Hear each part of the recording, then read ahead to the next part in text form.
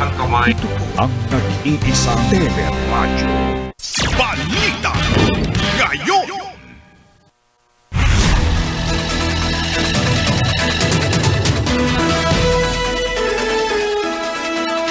Idineklara ng Commission on Elections ang Dynamic Outsource Solutions Incorporated bilang bidder para sa Election Monitoring System at Action Center ng COMELEC para sa halalan 2022. Ayon sa COMELEC, 200 million pesos ang naaprubahang budget para sa naturang kontrata. Ang Action Center na ilalagay ay may 10-kilometer radius ang layo mula sa COMELEC main office sa Palasyo de Gobernador sa Intramuros, Maynila, kung saan matatrack o mababantayan ito ang mga election-related activities o mga nangyayaring halalan, may mga support personnel, reporting contingency management at technical hotlines din ang naturang center para magbigay ng solusyon sa magiging aberya sa mga vote counting machine at iba pang problema na maaaring mangyari sa araw ng eleksyon. Tutol ang ilang mambabata sa panukalang no bakuna, no ayuda. Ayon kay Senator Joel Villanueva, anumang panukala na maglagay ng probisyon sa 2022 national budget na gawing requirement ang bakuna kontra COVID-19 bago makatanggap ng ayuda mula sa DSWD tulad ng 4Ps ay magsisilbi lamang pahirap at parusa sa mga mamamayang hindi pa nakatatanggap ng bakuna. Ayon sa senador, kung isusulong ang ganitong klaseng panukala, ay baka hindi pumayag ang Senado. Giit ng mambabata, sa panahong hirap ang marami, hindi dapat maging panuntunan ng pagkakaroon ng bakuna sa pagbibigay o hindi pagbibigay ng serbisyong publiko sa mga nangangailangan nito. Naniniwalaan niya siya na ang mababang vaccination rate ay dahil sa issue ng supply at hindi dahil marami ang ayaw magpabakuna. Dapat anyang gamitin ng DSWD ang pondo nitong 355 million pesos sa 2022 na nakalaan sa komunikasyon at advertising upang maglunda, maglunsad ng kampanya para sa edukasyon tungkol sa kahalagahan ng bakuna. Para sa iba pang maiinit na balita, manatiling nakatutok sa teleradyo at sa aming website, Twitter at Facebook. Ako po, si Nikki de Guzman.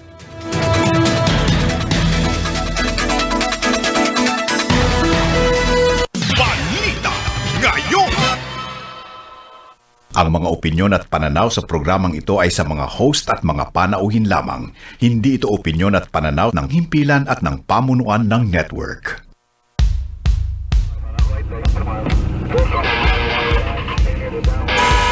Pasada starts right now!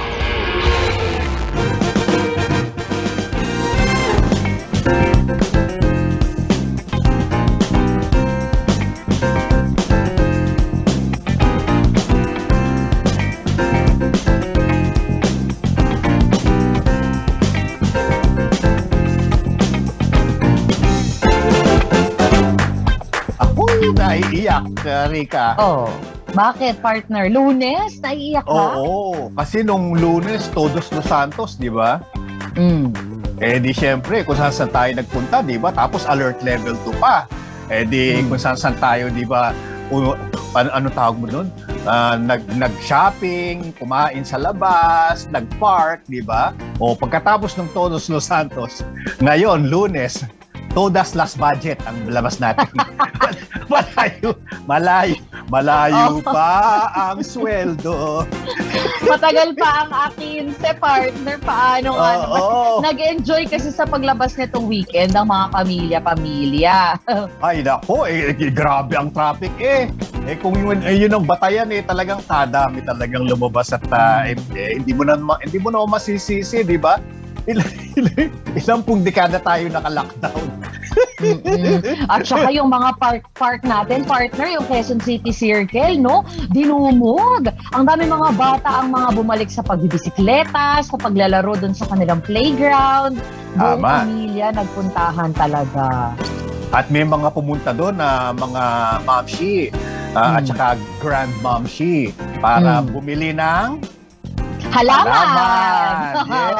Yes! plantita, plantita, yeah.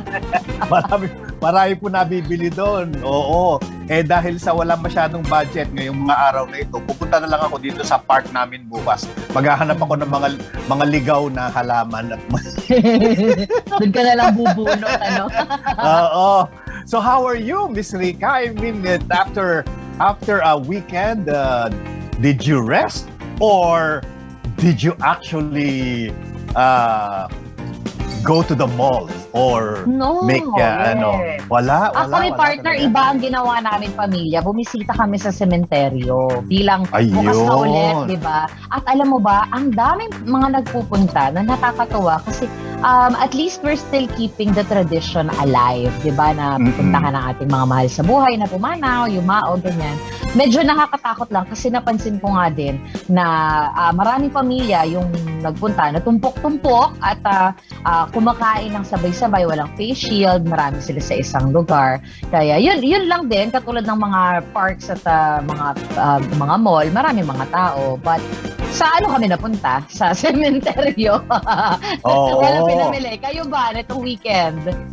Eh, etong, etong weekend talagang, alam mo, medyo, sabi ko nga eh, ah, I, I felt good, no? Yung driving seven and a half hours. Pero parang, parang delayed yung ano, delayed. May meron tinatawag sa boxing na delayed knockout, knockdown. Mm. Yung Oh. parang, oh my God, bigla ko naramdaman lahat ng pagod ko. Kaya ako eh, nagtutulog lang, oo. Sa, Old age. Totoo yan. At saka, at saka ano, at saka dami pa namin mga ano, yung mga pinaggagawa. Alam mo na, pag Mm. nasa Isabela ka, eh, ang daming pwedeng gawin doon. Kaya lang, eh, syempre, may apostolate, di ba? So, Oo. alam mo naman, alam mo naman yung energy ng mga bata talagang Oo. ma- maduduhagi ang mga matatanda. Grabe. Parang parang energizer bunny. Mm-mm. Pero at least partner, nakita mo sila ulit, 'di ba? Alam ko mga namimiss mo yung mga apo mo, Ay, mga nako. apuchina mo kapag hindi mo nakikita, Oo. 'di ba? Ay, nako, it, it means a lot. ah, kung kaya yung mga, ah, yung mga, wala pang asawa dyan, wala pang anak dyan. Para may tumukol na bato sa akin bigla. Bato-bato sa langit. oh, good news muna tayo, Rika. Ano Yesterday, good news mo? go! Good news, aba, ang Pfizer po, naglabas na rin po ng kanilang anti-COVID pill. Tinatawag nila itong Paxlovid na according to their studies ay may nine, nearly 90% po na binibigay na ginhawa kapag nagkaroon ka na ng COVID. Paalala nila, hindi pa rin po ito cure pero tulong lamang sa treatment. So, pangilan na yan, partner. After ng Molnupiravir ng Merck, Oh. ang uh, Paxlovid naman ng Pfizer yung susunod na lumabas. So, ganda yan. Good news How do you yan. spell it, Rika?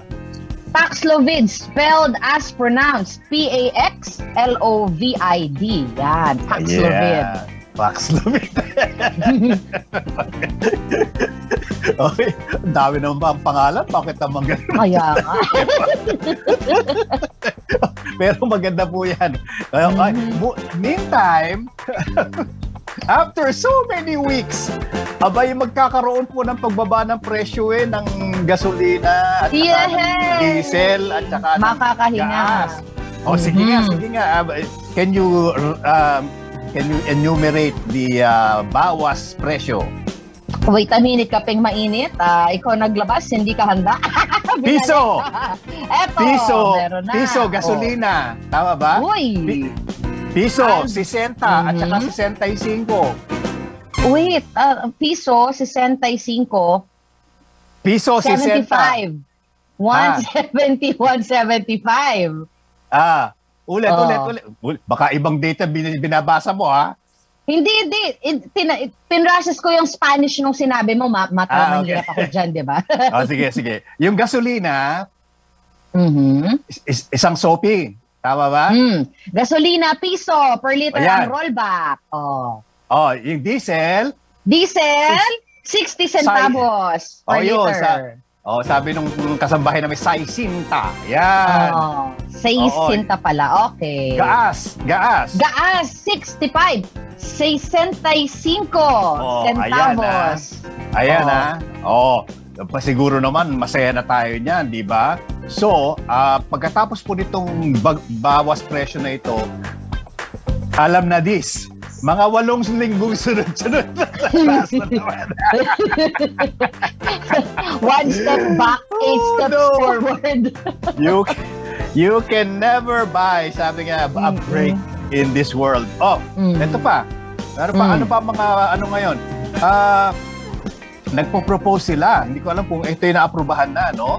National Vaccination Days, plural. Oh, yes. Oo. Yes. Ah, November 29 to December 1. Alam mo, ah, Rika, Mm. Naalala ko tuloy si PRRD. Alam mo, sa- sa- sandali, sandali. Ah, sir, ma- marami po kaming kausap nyo. Baka pwedeng alam nyo, ganon. Alam nyo. Alam, alam nyo. Hindi alam. Kinakausap mo si Bongo lang eh. Ay, ano Oh. ba? Teka, sandali. so, Ma- National November- Vaccination Day. Oh, November, November 29 to December 1. Itong al ito yung biglang pumasok sa isip ko eh because pinag-uusapan kanina no yung the communication about vaccination. Mhm. Honestly, honestly Rika and then you can please prove me wrong. Wala ako talagang nararamdaman na any any communication serious communication campaign para sa vaccination. I mean, let me let me cite an example to you ha. Halimbawa, eh tinamaan ng magaling Rika. Every every 2 minutes yata tumutunog yung cellphone ko eh. 11 11 sale. Mas magaling pa yun, no? Oo, di Mas ba? marami pang reminder. 10 10 sale. 11 11 sale. Siyempre, alam mo na kasunod doon, 12 12 sale. Oo. Oh. Eh bakit ba hindi natin gayahin ng Shopee at Lazada? O hindi ako nagpa-plug ha, sinasabi ko lang na grabe ang kanilang grabe ang kanilang marketing. Why couldn't we do that for vaccinating our madlang people here in the Philippines? Kasi alam nyo ba, let me share with you, bagamat hindi naman sa atin uh, good news ano, pero sa Japan po, for the first time yesterday, November 7, Japan had a zero daily death. Zero. Walang namatay sa Japan dahil sa COVID-19 kahapon, November 7. That's the first time na walang death in 15 months. Can you imagine that? 15 months as one year and, tama, one year and three months, di ba? Okay. So in other words, since August 2 daw, since August 2, 2020, ngayon lang hindi nakapagtala ng namatay ang Japan. Ah, nung Sabado, bago, bago maglinggo, tatlo yung namatay. Pero linggo, zero. Kumusta ang vaccination nila? Ma- Oh. Maiksi lang to. 70% ng populasyon ng Japan bak- bakunado na, vaccinated na. Ano ibig sabihin nun? 126 million ang population ng Japan. 70% is 88 million. 88 million po ang bakunado na sa Japan. Mas malaki ang populasyon nila sa atin. 100, 126 million sila almost. Ang booster shot, magsisimula na sila next month. Dito sa Pilipinas, binasa ko kanina yung DOH, yung yung uh, vaccination dashboard. 29.4%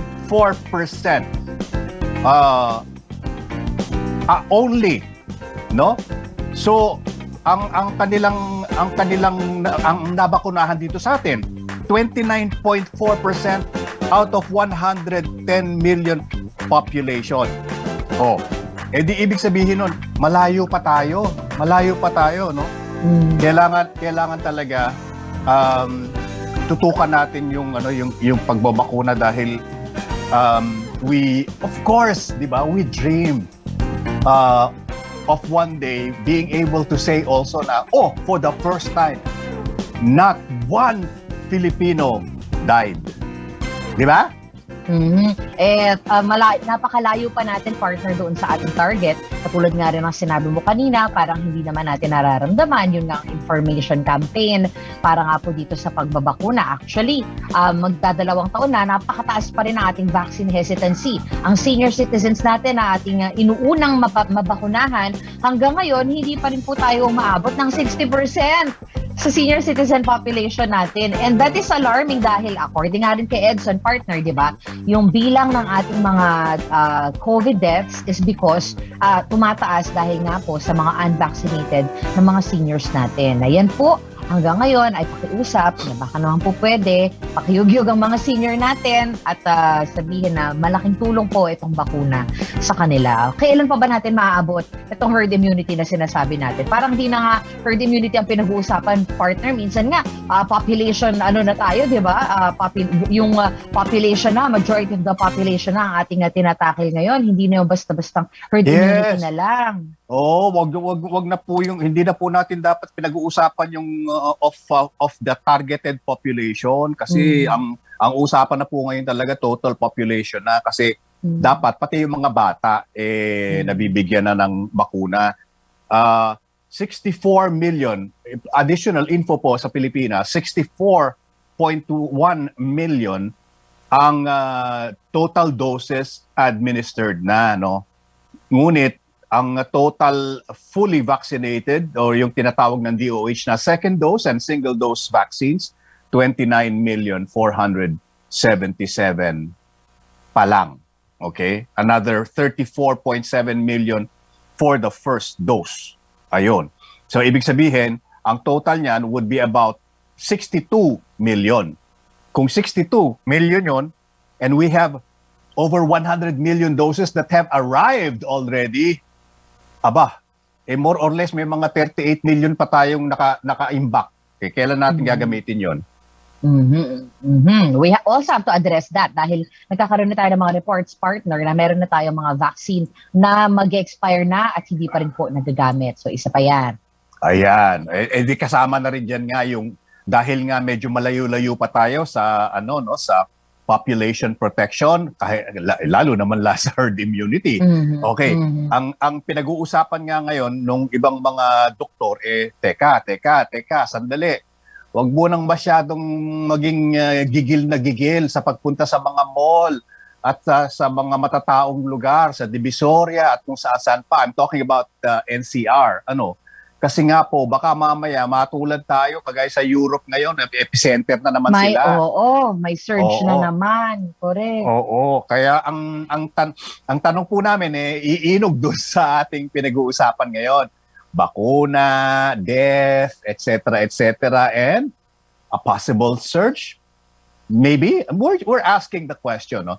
At ito ang ating pag-uusapan sa Monday edition ng Sayong Palagay. Opinion mo? Pakinggan ko! Sa iyong palagay!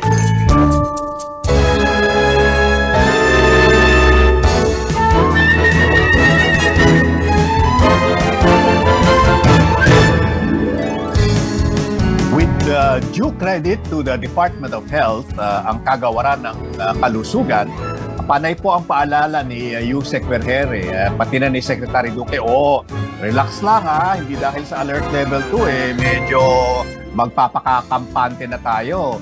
Huwag tayong masyadong ano ah, uh, we feel na we're over it just because in pag sinabing alert level 2 ba, ibig sabihin eh, there's very minor risk already.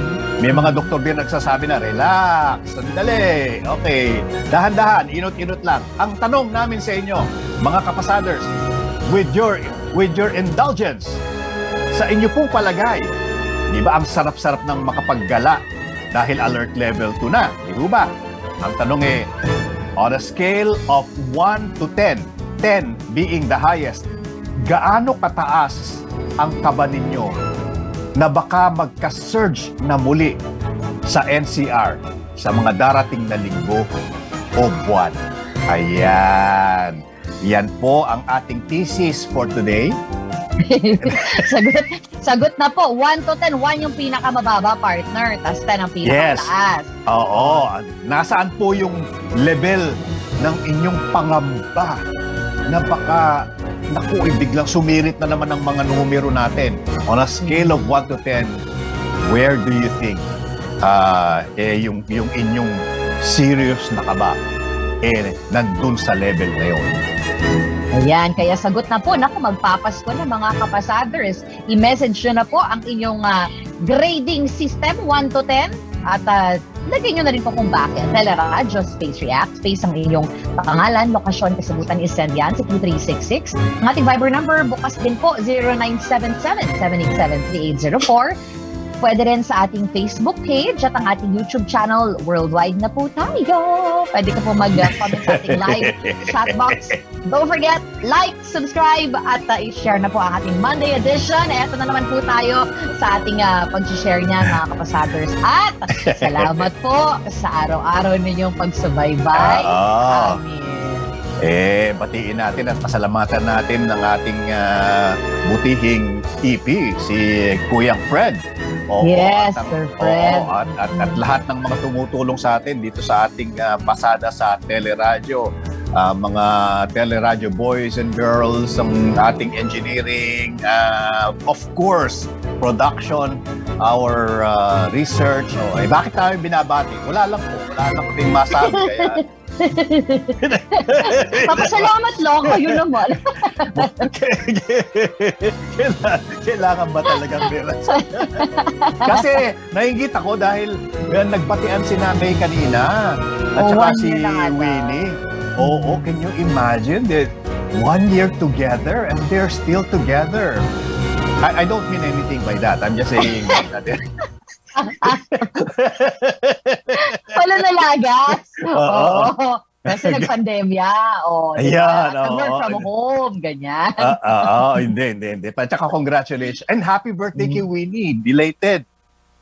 Oo. Mhm. Belated. Oo. Last week yun, partner, di ba? Oo, oo, oo. Hindi ko lang masyado nagustuhan yung sinabi niya kanina, Rika. Ano yun? Oh, ano yun? Oo, sabi, sabi niya, oh, well, lagi po kami nandito ha, mula 4 p.m. hanggang 5-ish. 5-ish? Ay, bitch. Kumain ng oras. Sandali. Bayadin ba kayo doon? Again ako, Diyos ko po. Hindi, nagbibiroan lang po kami. We're, Mhm.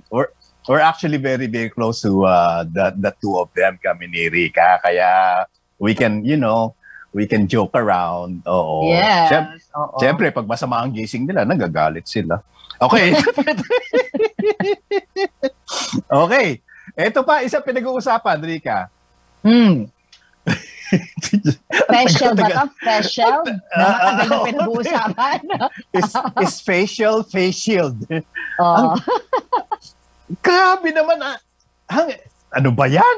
Hanggang ngayon, ang gulo-gulo nyo talaga. Oh, eh, pag meetingan na naman yung face shield. Oh, eh, in the meantime, yung isang mayor biglang nag-issue na ng executive order. Nauna. nagka nagkagulo-gulo na naman. O tapos biglang Mm-mm.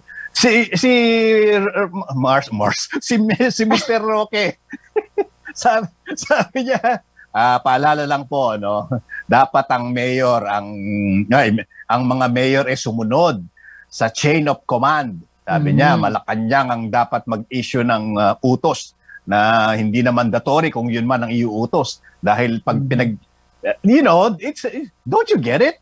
It's the mayors will ano will meet and decide and then make a recommendation to the IATF, di ba? And then I- Mhm. IATF will now make a recommendation to the president. the Mhm. president will decide.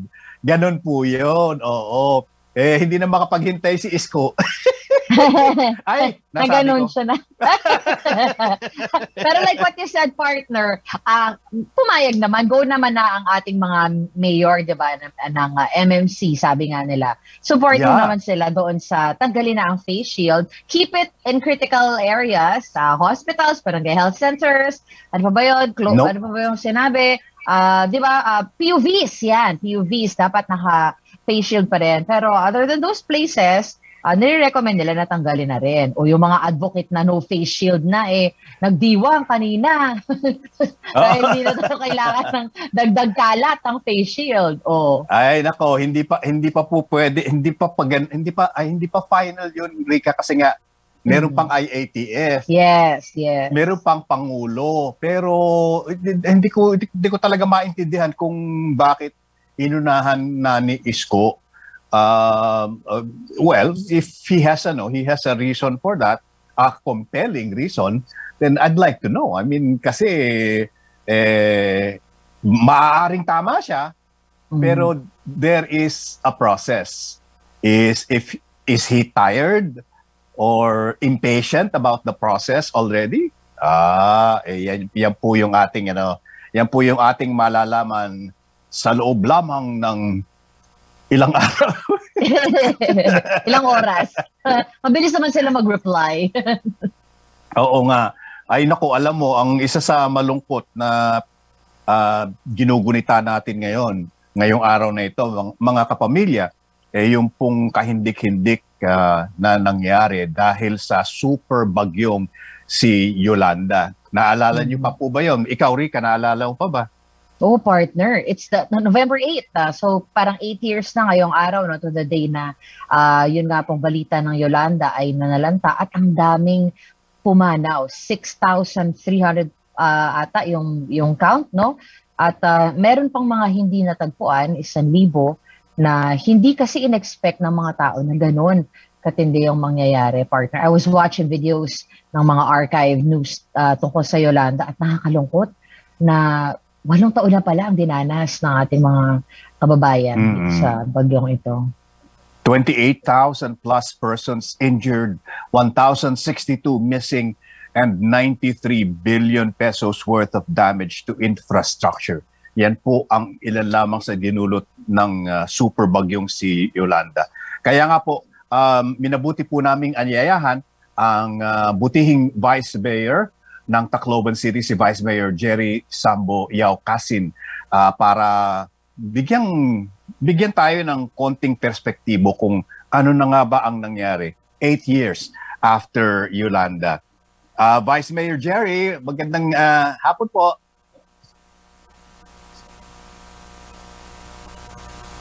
Vice Mayor? Yes, good afternoon, Ayan. Peter, Enrica. Good afternoon, Vice Mayor. Salamat po. Yeah. A pleasure to to see you and, and talk with you, uh, Vice Mayor. Uh, I heard na, you know, the commemoration uh, of the eighth year of Yolanda will be marked by just simple rites. Maybe we can start with that. Ano po ang mga uh, ginawa today uh, in commemoration of uh, Yolanda? Well, it's as simple as having a mass. At the same time, may wreath laying lang tayo doon sa memorial marker at saka sa mass grave. Kasi until today, no? until today, hmm. yung DNA testing na ginagawa supposedly doon sa mass grave with the saliva samples of the uh, families until today, eight years after, uh, hmm. hindi pa rin natatapos. No? So I think that's the call of uh, the bereaved families kasi walang closure eh until mm-hmm. and unless uh, you are able to locate finally get uh, kahit uh, bones na lang nila to be able to find uh, a resting place for mm-hmm. the families that they've lost during super typhoon Yolanda. Yes, that's tragedy on top of a tragedy. Uh, I mentioned kanina po, Vice Mayor, na 1,062 missing yun po ba yung initial na numero na mga nawawala or is that the updated uh, uh, the balance of uh, what what used to be a bigger amount, uh, a bigger number? We will never know. We will never know. Kaya sabi yung sa official count less than 5,000. Mm-hmm. Yung iba naman the first count was almost 10,000. So we will never know, no? Pero yung uh, we know doon sa mass grade pa lang uh, more than 2,000 plus nandun sa mass grave. No? Mm-hmm. So that will tell you the story already with the more than a thousand missing, then you would more or less have a figure already. No? So I'm sure it's it's higher than the official figure. Definitely. Mm-hmm. Definitely. Mm-hmm. Vice Mayor, doon po sa mga bereaved families, especially doon po sa talagang nakaranas nung nung pananalanta ng Yolanda. Ngayon po, ilang taon na lumipas, meron pa rin po ba ang nangangailangan ng support? Maybe psychiatric ah. support or at least financial uh, sa pag-move ah. on doon sa nangyari? Well, this afternoon, nandun ako sa Holy Cross, no, sa mass grave, where I was with a couple uh, who lost uh, both her siblings, who lost two children. Until today, ay yung panawagan nila sana mabigyan kami ng pabahay. Uh, they, mm-hmm. they're still living in, in, in near sa danger zone. Eight years after, wala pa rin daw. Nag-apply na sila uh, for pabahay until today wala pa rin no ay yung isa I was able to talk no na again uh, in one place where they lost both children Hmm. then binawi pa yung housing unit supposedly for them Uh, ta- tapos Oh, wow. uh, now uh, dahil again no you know mag-election na bibigyan uli sila ng pabahay. So sabi na that's an insult no to to to us.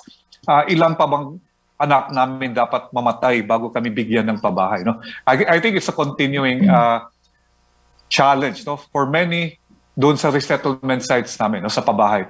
Uh, still many of the resettlement sites wala pa ring pipe in water supply. So, uh, supposedly, in 2018, nag-download yung luwa ng more than 500 million to fix the water system. No? So, until now, hindi pa rin natatapos-tapos. Eh. So, again, those are the challenges. Then another is, pabahay.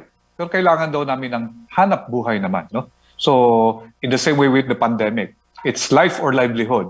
Dito sa pabahay, may bahay nga kami pero wala naman kaming hanap buhay no so i think it's it's it's a continuing no uh, challenge for LGUs no how to do we build back better Mhm.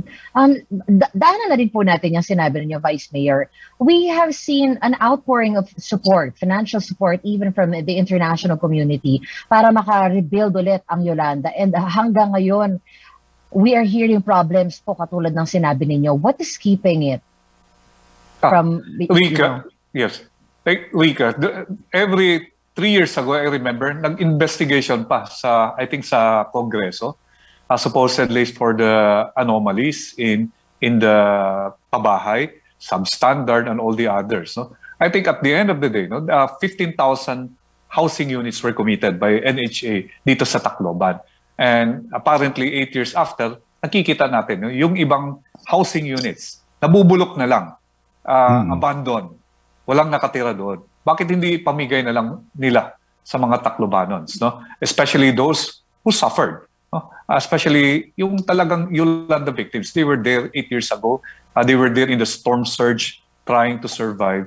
Dapat bigay sa kanila no? Rather than now they go there to the pabahay or the resettlement site nakikita nila yung iba hindi nga taga Tacloban eh. Hindi dumaan sa Yolanda or may pabahay sila no? So i think uh, that that really is a challenge no, for all. Sana yung pabahay na ibibigay sana sa Yolanda victims maibigay at the same time yung title nandoon na sila sa pabahay pero kailangan nila uh, to have the security na pwede na ipamana nila after what they went through ipamana na sa for the next generation to have that certificate of title na nakapangalan na talaga sa Yolanda victims.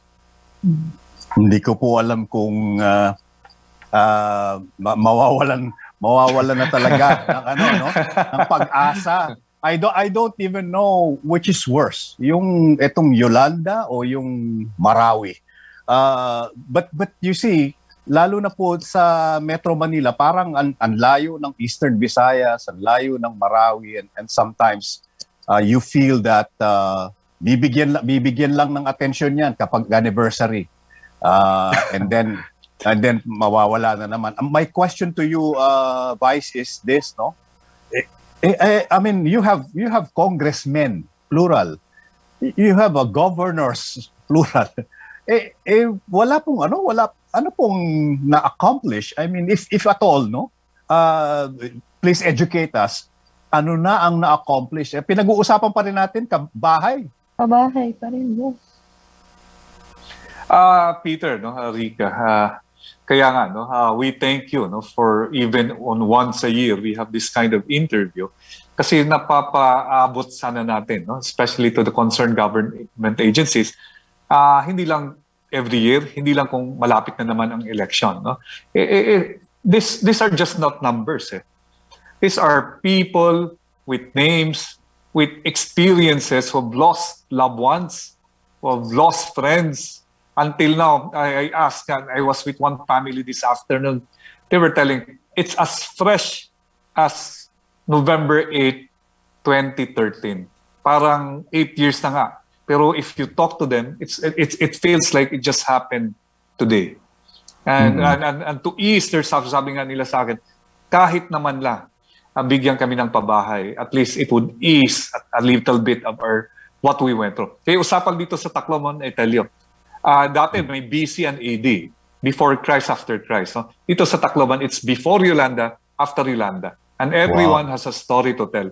How they survived and how they were able to uh, get over it, how they were mm-hmm. able to move on and bounce back. That's that's our story here in Tacloban.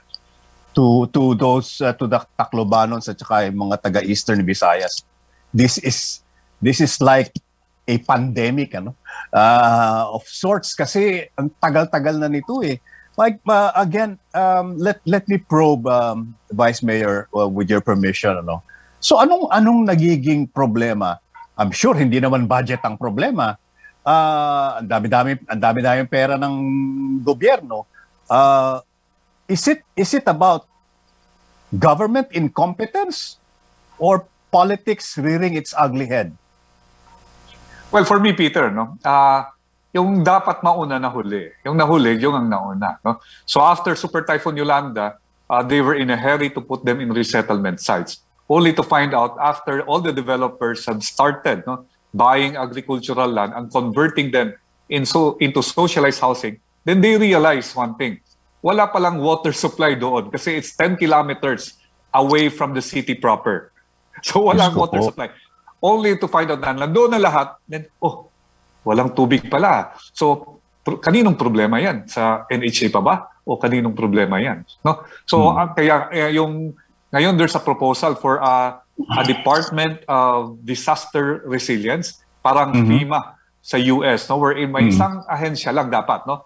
after every calamity, dapat in charge na. Hindi kagaya dito. No? Problema sa pagkain, o no? si DSWD, Problema sa pabahay, NHA. Problema sa sa water supply, baka sa luwa. Problema naman sa kung ano-ano lang. Iba na namang yung problema no sa sa dito mera sa inyo Meralco dito sa amin Leyeco sa mm-hmm. in terms of electricity. So may pabahay pa rin dito. Na wala pa rin electricity, no?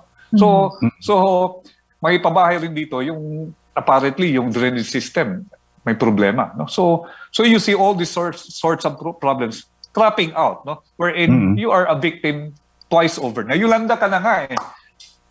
Biktima ka pa rin, no? mm-hmm. so that, that, that, that is so sad, no? Uh, whether it's government incompetence or or the slow pace of because of bureaucratic red tape or whatever. No? But again, eight years is eight years. Hindi na may babalik sa amin yung eight years, uh, Peter mm-hmm. and Rika. No? Uh, mm-hmm. those, that, that is something that we have to live with for the rest of our lives. At the same time, mm. now we're facing the pandemic. No, uh, it, it, it makes matter worse. No, na makaka-recover pa lang kami sa Yolanda. Tinamaan na rin tayo ng pandemic. So all the more na mahirap, no, mahirap. So we get a lot of requests nga for not only for pabahay, kahit kahit diaper at saka gatas, hinihingi pa rin sa amin. No? Mm-hmm. It, it, it just goes to show no, how difficult life is, especially with the pandemic. Mm-hmm. Uh, nauungkat natin, sir, yung ating mga uh, ano yung hinihingi natin nila hinahanap natin from the local government, even from the national government. Um, let's look at the private sector. Paano po, meron po bang tumutulong hanggang ngayon mula sa private sector? Well, uh, in the early days, we have private sector. We have the international uh, community. We have the NGO, the INGO. No? But at this, at the end of the day, dito yung bumabalik-balik na lang sa amin I I think you you all heard it. It's the Tsuchi Foundation. No? Mm. Uh, talaga tumulong sa amin. Uh, in the early days until today, bumabalik-balik sila. No? And we are thankful to them, especially to the INGO really, to the whole community. Kahit sa inyo in ABS-CBN and all. No? Uh, mm. Without your support, no? hindi kami makakabangon. Hindi kami makakabangon kung kami-kami lang with the government only. Uh, it's because of the INGO. That's why we have a story to tell na how fast the recovery was in Tacloban City only because of the international community, the INGO, NGO, and the many, many who lent a helping hand to Tacloban. Parang United Nations kami uh, mm-hmm. in those days no? because maraming talaga tumulong sa amin. That's why we were able to recover uh, faster than Haiti no? and the other countries devastated by the same uh, magnitude of calamity no? Mm-hmm. dito sa Tacloban. Kasi okay. it takes 5 to 8 years eh. But dito sa amin, uh, around 5 years supposedly. Then tama, mm. tinamaan tayo ng pandemic. Okay, so so uh, you're saying Vice Mayor na ano, uh, Tacloban is in a better place than uh, the the other uh, uh, locals na tinamaan ng Yolanda. Yeah, definitely, Peter. No? Uh, Mm-mm. uh, thanks again to all. No? Uh, we are in Yeah, a better yeah. position because of the billions that have poured into our city. No? Because we were Okay. the ground zero of Super Typhoon Yolanda. eh. So kami, we took the bulk of the many aid uh, from other countries no? dito sa Yeah. Tacloban. No? So, Okay. so we're thankful for that. Let, me let me go to the um, uh, uso ngayon di- ito Vice Mayor eh. Let's let's go towards the accounting. Dahil alam ko na ang tagal-tagal na pinag-uusapan yung magkano ba ang uh, total ng international aid na dumating, magkano ang ginasta, ilan pa ang unaccounted for. Uh, well, Peter, that's what we also want to know. Eh. Kasi again, no, if with the with the aid that we that has poured in, and we Yes. know, no, the, the aid that has poured in after Super Typhoon Yolanda, then gusto natin din malaman, no, kasi Hmm. uh, unfair naman, no, sa the national government in the past administration din uh, to say that uh, hindi umabot sa amin, no. And you have to know, no, uh, people also have to realize, Super Typhoon Yolanda is not Tacloban Mm-mm. it's the whole Yolanda cor- corridor yan eh. Kasama yung Mhm. Tacloban. Hang, umabot pa yan hanggang Estancia, Iloilo yan eh. Yung nat, That's nat- right. tinamaan ng Super Typhoon Yolanda. So people have to know, yung, yung bigay ng international community and the other government, hindi lang lahat dito sa Tacloban. It's the whole Yolanda corridor. So, but then again, we need to have an accounting at to let us know ilan ang pumasok, kaninong LGU, uh, how much did they receive, then what happened afterwards. Kasi usually biniblame natin yung national government in the past administration. We have to know that bumigay rin. Uh, tinatawag natin refunds, eh, assistance Mm. for Yolanda Fund. So kailangan accounted for. Para yung LGU would also be transparent and accountable. Anong ginawa nyo sa pera na binigay from the national government to the LGUs? And, and who's supposed to be doing the accounting, uh, Vice Mayor? Well, uh, supposedly at that time, uh, we have that uh, you have Yolanda Rehabilitation. At the same time, we have the DILG naman. No? So the DILG and the DBM, I think, should be in a better position to give us uh, full accounting of the aid we received for Super Typhoon Yolanda and magkano ang na-receive ng bawat LGU na tinamaan ng Super Typhoon Yolanda. Hmm. Vice Mayor, about budget naman po yung tatanungin ko. Uh, we do receive budget yearly para nga po dun sa ating mga uh, LGU. Um, ngayon po, may dagdag na naman na pandemya para isipin ng gobyerno natin uh, at ng local government most especially. Nag-aalat pa rin po ba tayo ng par- portion of the budget for the Yolanda victims kahit na um, majority na po ay ginagamit na sa pandemya yung kanilang local budget? Well, uh, apparently, no, uh, all of us have been affected naman by the pandemic, whether uh, you're Yolanda victims or not. No? So, doon nakatutok lahat. Eh. So, in a way, no, uh, kasama pa rin sila doon. No? But not necessarily specific na para lang sa Yolanda victims. Eh. Kasi uh, tinama naman tayo lahat ng pandemic. So, all the aid, uh, kasama naman sila lahat, mga Taclobanans. While we're talking about COVID-19, Vice Mayor, eh, le- let's um, drill down dito sa Tacloban City.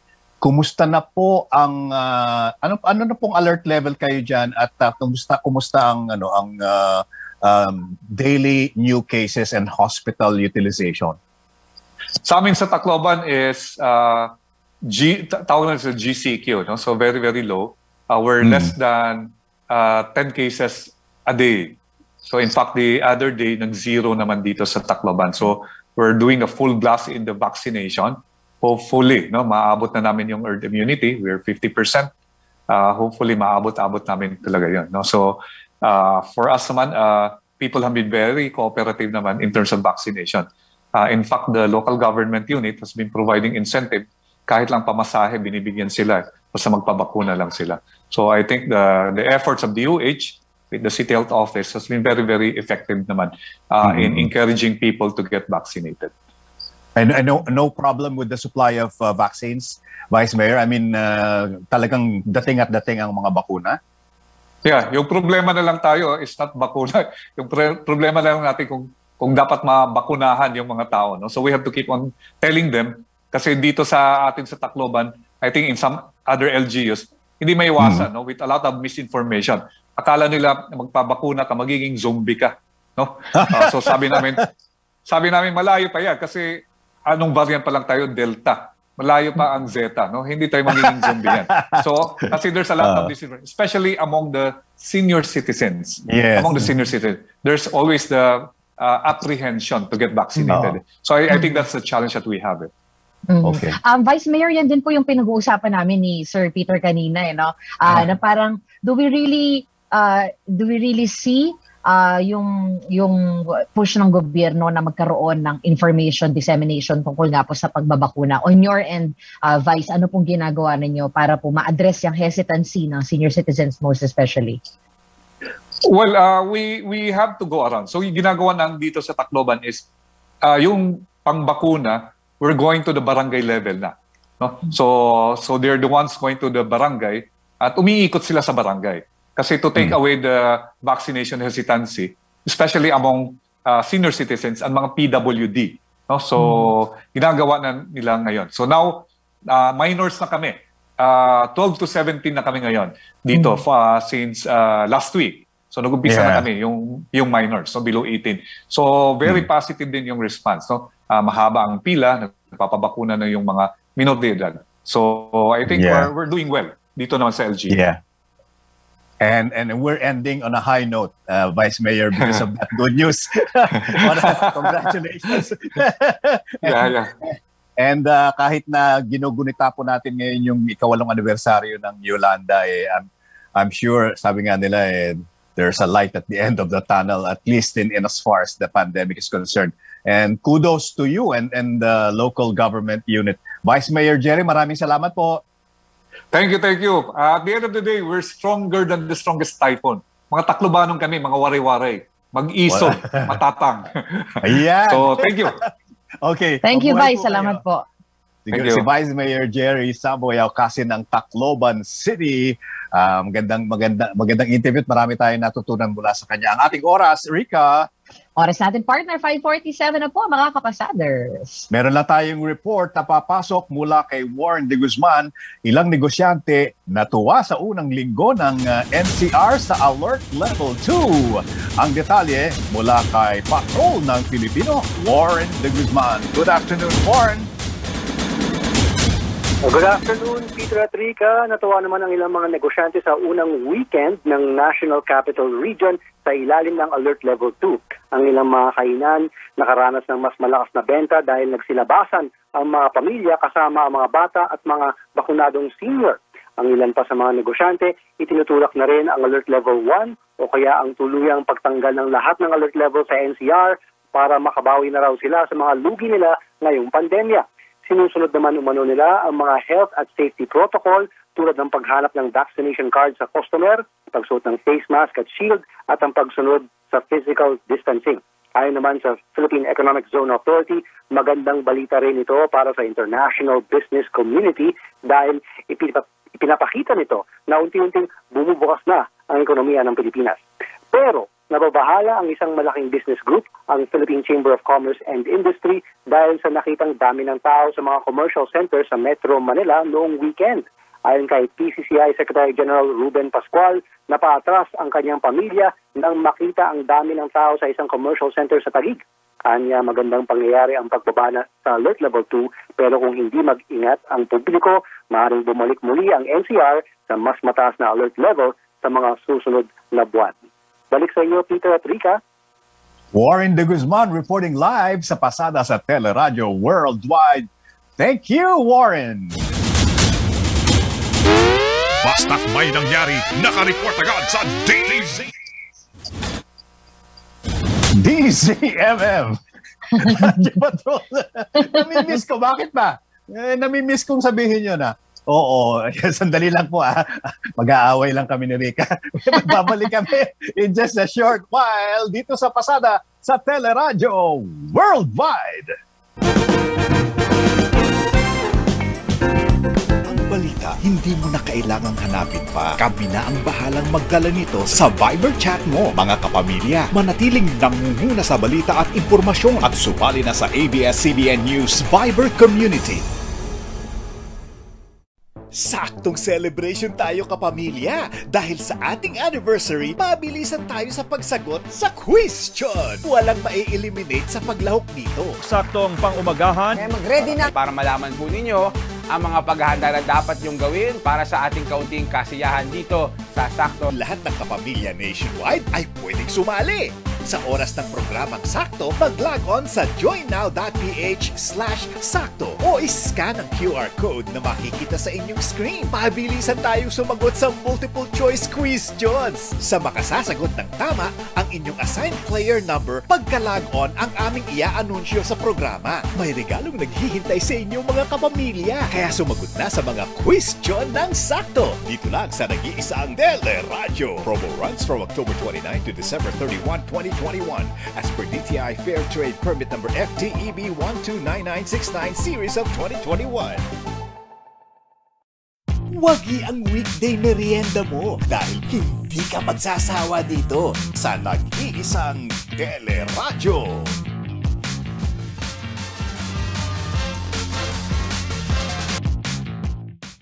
Gusto mo bang matutong maging praktikal? May sale pa bang aasahan? Wais Give us some tips para sa ating mga kababayan. Kaya mo namin, pero paunti-unti na lang. street smart? Kunwari, walang pera pero may bibilin at may bibilhin pa rin. Pag matagal siya sa mall. Kasama si Alvin El Chico Lahat po tayo consumer. at ang mga eksperto pagdating sa pangangailangan ng bawat mamimili. Pupusisiin natin ang mga issue at tanong ng mga bida consumer. Tuwing Sabado yan ha, alas 11 sa nag-iisang Teleradyo. Kumusta na ba ang puso mo? 39 years old po ako at single since birth. Baka tumanda ng binata, meron kayang darating.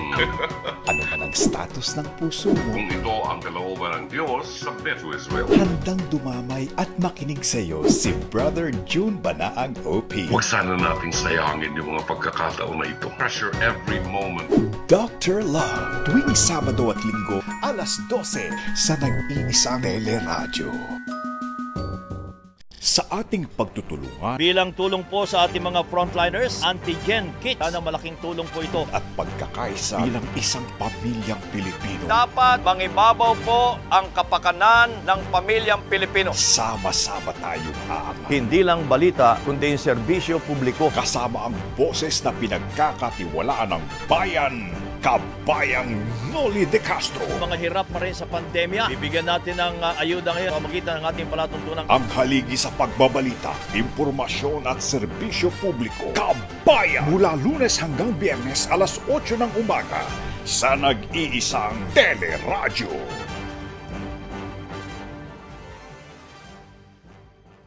Kilalanin at mahalin ang kalikasan para sa mas maunlad na kinabukasan. It's about you and everyone working in love. Are you ready to share the love? Mag-enjoy na at balikan natin ang paglilibot sa bansa ni Gina Lopez. From the mountain, we are now in the island. Ibahagi naman natin ang love kasama si Ernie Lopez. Mga kapamilya! Tanim tayo ng mangrove, tapos mag-coastal cleanup tayo. G Diaries. Importante sa pag-unlad ng ating bansa, pagmamahal. Lahat tayo magtutulong-tulungan. Pagmamahal to ng kababayan natin. Tuwing Miyerkules, alas 2, dito sa nag-iisang Teleradyo. 5.54 na, anim na minuto na lang, mag-iika-anim na na ng gabi. Meron kayang ano, untalk to the nation mamaya? Abangan! oo eh, minsan ina-announce nila an hour before na ay bukas na lang pala. Di ba? Yung pagkasabi na meron mamaya, ay bukas na lang pala. Abang-abang. Hindi, kasi baka, ah, baka i-resolve ba nila Rika yung ano eh, yung face shield. Face shield. O Oo, yung baka- ano, announcement. Yes. Yes, yes. Baka, baka mamaya po i-announce yun para ano, para hindi hindi na magalit kay Isko. Ay, ano ba yung mga mensahe natin? Oo. Gumawa na ba ng group chat? Para dyan. Oo. Okay, ah, ang ating ah, pagbabalik tanaw sa ating tanong for the day.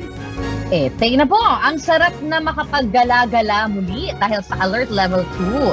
Scale of 1 to 10, mga kapasabers, gaano kataas ang kaba nyo na baka magka-surge na muli ang NCR? Your answers, eto na po. From Miss Hansel Porte, o baka port ito, baka kasi ano eh, baka, baka foreigner eh, di ba? Hansel important. In a scale of uh, scale of 9 para po sa akin, sobrang nagpakakampante po lahat, especially para sa mga bata na below ang age. Mga wala pong mask habang pinapasyal. Actually, during the pandemic, it's the economy versus health ang batayan. Huwag po tayong magmadali. Keep safe and more power, Sir Peter and Miss Rika. Thank you, Ma'am Hansel. Thank you po. Sarap mo, ma'am. Yung pangalan mo, naalala ko yung mga ano, eh, merienda, di ba? Ernie Alcantara, meron bang relevance ang IATF? Aga ng alert level 2, nasa tao na ang disiplina, iwas pa rin sa maraming tao at Pasko, reunion at trabaho muna.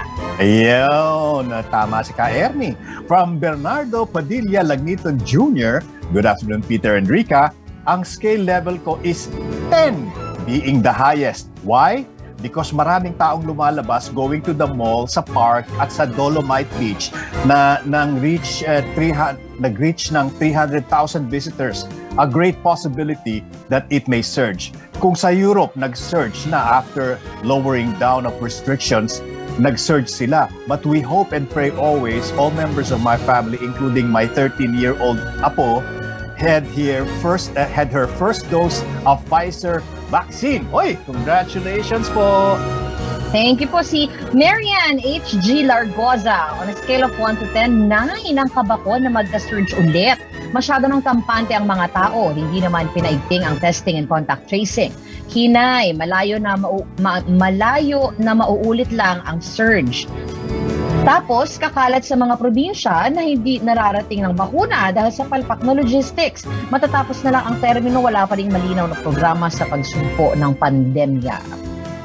From Miss Arlene Santonia, mga idol! Avid listener niyo ako, Monday to Friday, sa pagdagsa ng mga bata sa mga mall na wala namang bakuna, asahan na natin ang pagtaas ng magkaka-COVID. Naku, iyan, tensya. Mhm. Ito si Irene Rose Calva, sagot naman daw, maybe seven. Kasi di ka pwede magkumpiyansa na, uy okay, mabuti sana kung walang bata, carry lang. So paulit-ulit na lang din kasi last year ganyan din nagluwang. After ng December, pagdating ng March, lockdown. Baka Lockdown. mabato pa ang Pasko. Imbis na free lang, actu- free lang. Actually, nasa pagpapatupad naman yan. Nasa, eh, sana, any kalma lang muna, huwag excited, baka mabitin pa. Correct. From uh, Dino Monzon, good afternoon, Miss Peter, ay Miss Peter, Mr. Peter and Miss Rica, 7.5 for me. While the lowering of the alert level from 3 to 2 in the NCR is welcome news, the government seems to be throwing caution to the wind and getting complacent. Some with those who are now going out in droves, better to have been more cautious. Least the country does go through another surge of COVID cases come December, which would be a most disastrous time for it to happen. Thanks. Wow. si Sir Dino palagi pag sumasagot sa atin, na-challenge talaga tayo. Eh. Oo, talaga nang parang thesis talaga eh. Oh. Miss Anne, Emerald Ann Penny, good afternoon, Sir Peter. Ma'am Rica, sa palagi ko po, baka na si scale ng 8 ang aking kaba. Unang-una, sumobra na po ang tao sa labas. Ang siste pa, dikit-dikit sa jeep at dami ng namamasyal. Dagdag niyo pa yung iba, kumakain sa loob ng jeep at walang pismas. Sana naman sumunod pa rin sa protocol. Thank you po. Yan lamang po ilan. Salamat po sa mga nagpadala. Ayan, oo. Eh, Naalala mo pa ba yung sinasabi mong the triple C?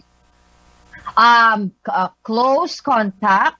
Uh, nahirapan. Bakit po yung triple C? Dahil ito yung, Oh. ito yung mga gagamitan ng face shield. Face shield, oo. Oo.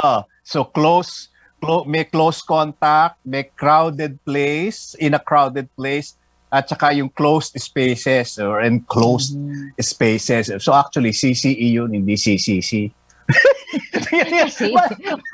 Huwag ka. Gusto Ay, ayan, may, nag, may nag-text sa akin, bakit ka ba nangingialam? Sumali ka sa IATF, ganon. Mars, ikaw ba yan? Ay, ang oras. Oras natin, ka, partner. Sakto in punto, alas 6 na po ng gabi. Okay, tamo na. Eksakto yan. Nakakaya naman kay Nikki eh. Babalik po kami ni Rika sa Pasada sa Teleradyo Worldwide.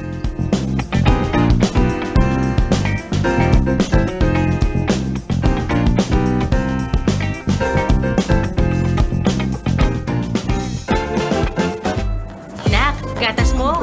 Hindi mo na kailangang hanapin pa. Kami na ang bahalang magdala nito sa Viber chat mo. Mga kapamilya, manatiling nangunguna sa balita at impormasyon at sumali na sa ABS-CBN News Viber Community.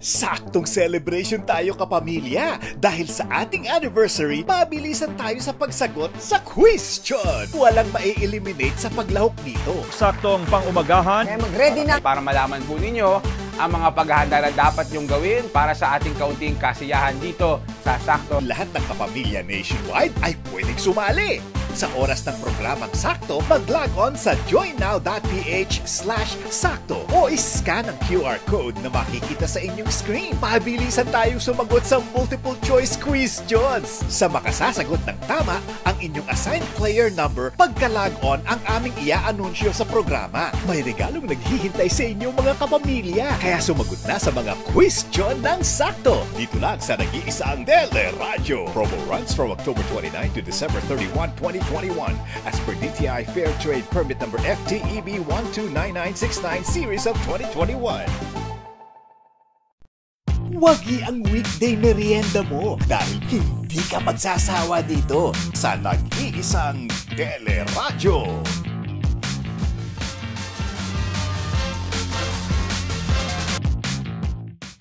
Gusto mo bang matutong maging praktikal? May sale pa bang aasahan? Wais! Give us some tips para sa ating mga kababayan. Kaya nung namin, por paunti-unti na lang. Street smart? Kunwari, walang pera pero may bibilin at may bibilhin pa rin. Pag matagal siya sa mall. Kasama si Alvin El Chico Lahat po tayo consumer. at ang mga eksperto pagdating sa pangangailangan ng bawat mamimili. Pupusisiin natin ang mga issue at tanong ng mga bida consumer. Tuwing Sabado yan ha, alas 11 sa nag-iisang Teleradyo.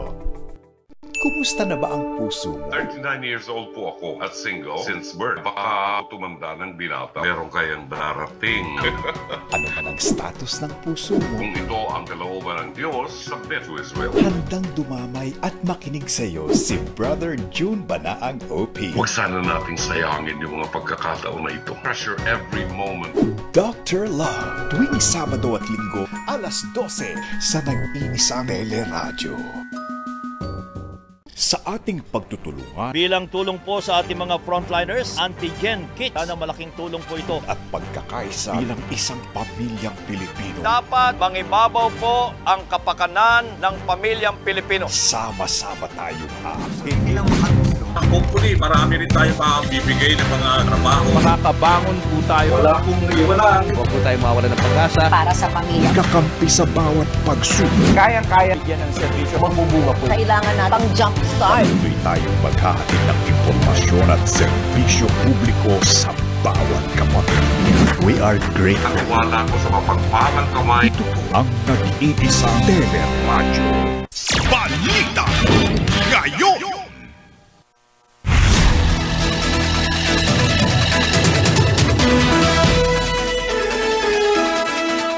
Kapamilya, pumalo na sa 2,805,294 ang kabuang kaso ng COVID-19 sa Pilipinas. Ito'y matapos maitala ang 2,087 na bagong kaso ngayong araw.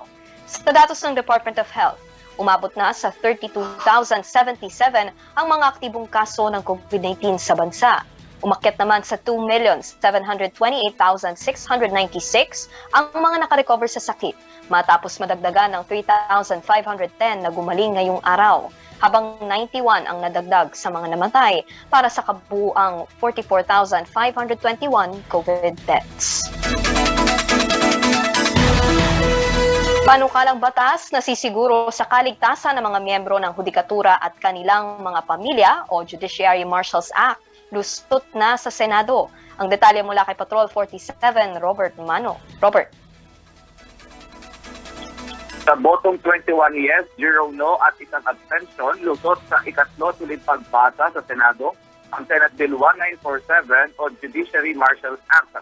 Ilalim ng panukalang batas, bubuo ng Office of Judiciary Marshals na siyang tutugon sa pag-atake sa mga huwes, abogado at court personnel.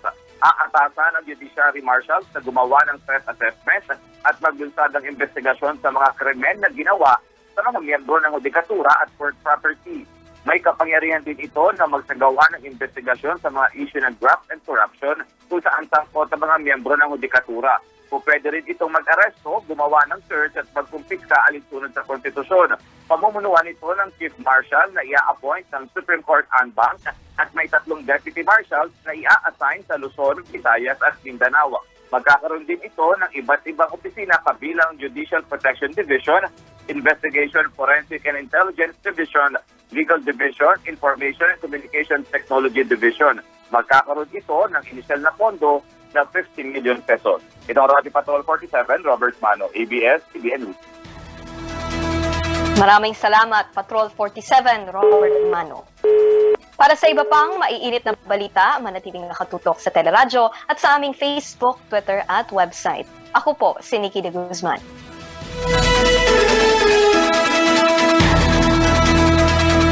Ang balita, hindi mo na kailangang hanapin pa. Kami na ang bahalang magdala nito sa Viber chat.